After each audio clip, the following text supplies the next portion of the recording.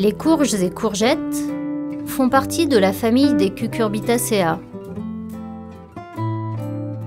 Ce sont pour la plupart des plantes annuelles qui se répartissent en plusieurs espèces. Les Cucurbita pepo, une espèce qui comprend notamment les courgettes, les pâtissons, les courges à huile, ainsi que quelques courges ornementales. Elles sont pour la plupart buissonnantes.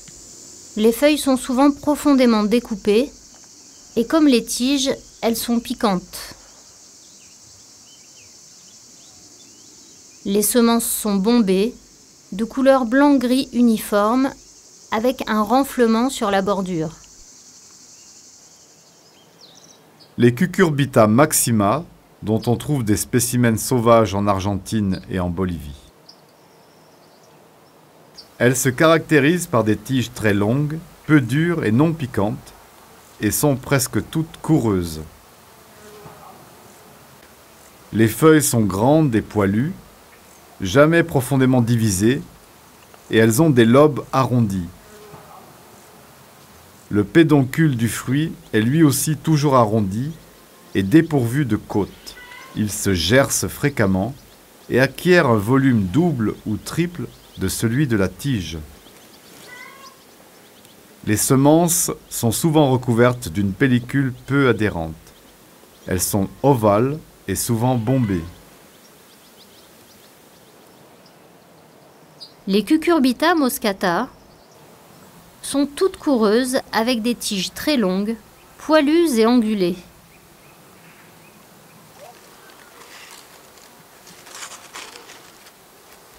Leurs feuilles, un peu arrondies et non découpées, présentent des angles assez marqués. Le pédoncule présente cinq côtes ou angles. Les semences sont souvent de couleur blanc-gris et fortement marginées. Cette espèce nécessite plus de chaleur que les autres courges. Dans les régions plus froides, le fruit n'arrive pas toujours à maturité.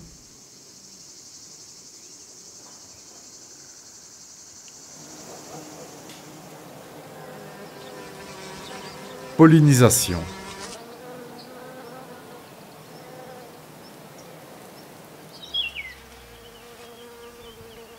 La courge est une plante monoïque, c'est-à-dire qu'elle porte sur le même plant des fleurs mâles et femelles. On distingue les fleurs femelles par le revers, une mini-courge qui se trouve sous la fleur, des fleurs mâles situées au bout de longues tiges. Les fleurs ne s'ouvrent que pendant une journée.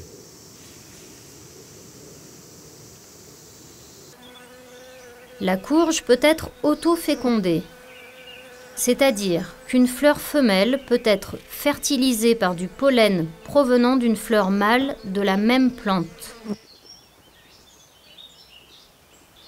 Mais les fécondations croisées sont prédominantes entre différentes plantes de même variété, et au sein de la même espèce.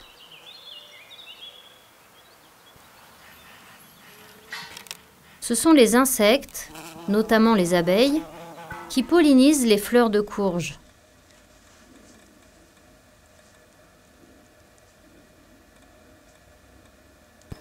Les seuls croisements interespèces possibles, on dit interspécifiques, sont entre la Cucurbita argyrosperma et la moscata.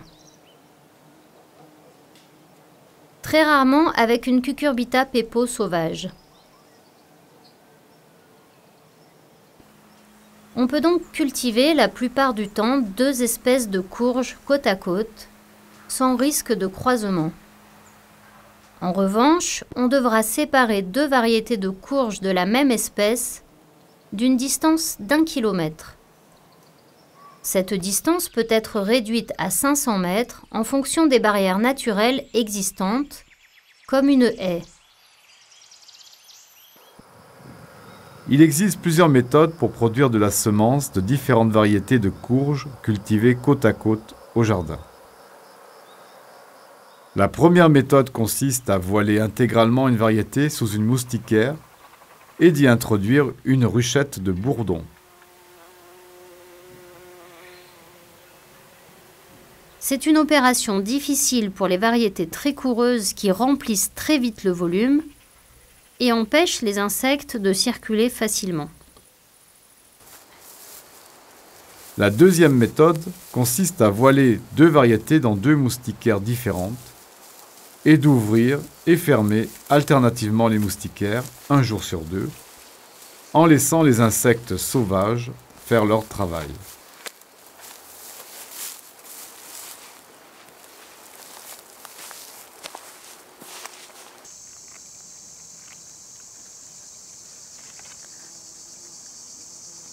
La troisième méthode est de procéder à la pollinisation manuelle des fleurs. Le processus est simple car les fleurs sont très grosses et bien visibles. Pour ces trois méthodes, on se reportera au module sur les techniques d'isolement mécanique et sur la pollinisation manuelle dans l'ABC de production de semences.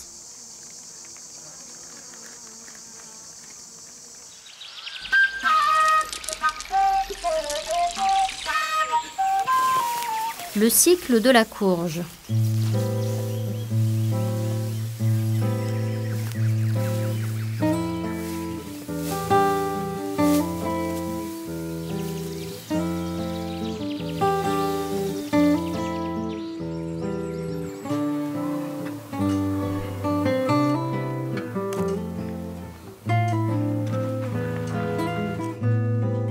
Le cycle de la culture de la courge porte-graine est le même que pour la courge de consommation.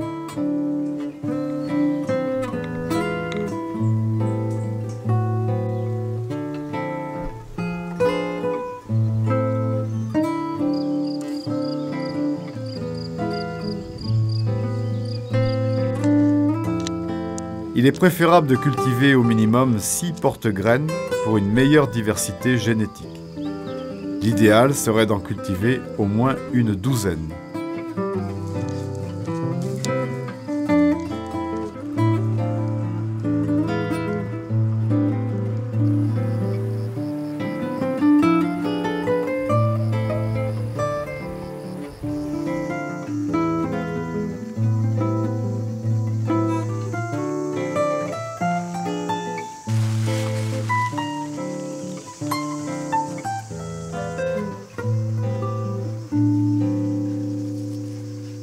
On accordera beaucoup de soin à sélectionner les porte-graines en fonction de la caractéristique de la variété, par exemple coureuse ou non coureuse.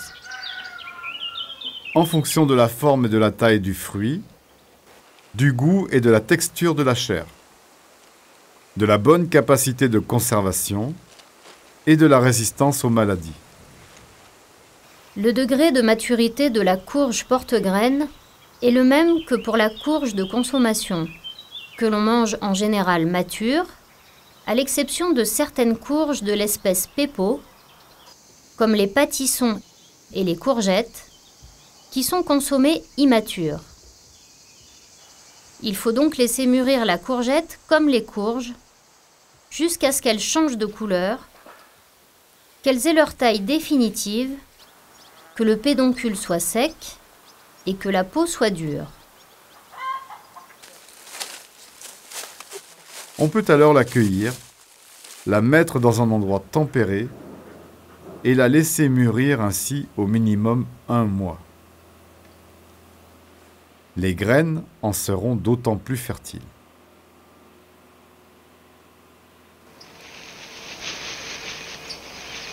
Extraction, tri, conservation.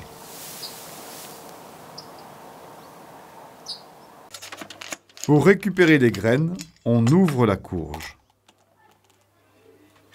On égraine à l'aide d'une cuillère en évitant d'enlever trop de chair. Puis on rince à l'eau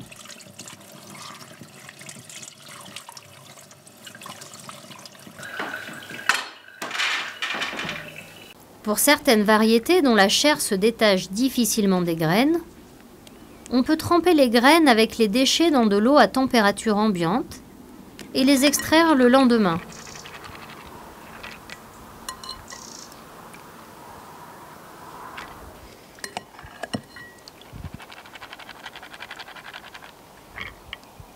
Dans tous les cas, sécher les graines à une température de 22 à 25 degrés dans un endroit bien ventilé.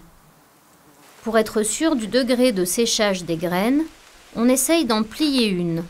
Si elle se casse, c'est qu'elle est sèche.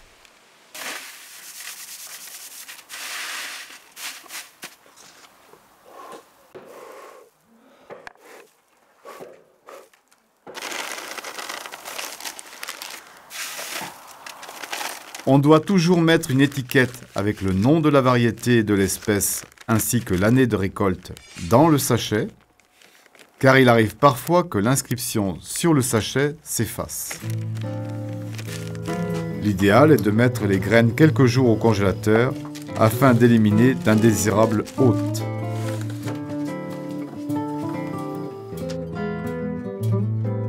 Les semences de courge ont une durée germinative de 6 ans en moyenne et peuvent conserver leur faculté germinative jusqu'à 10 ans.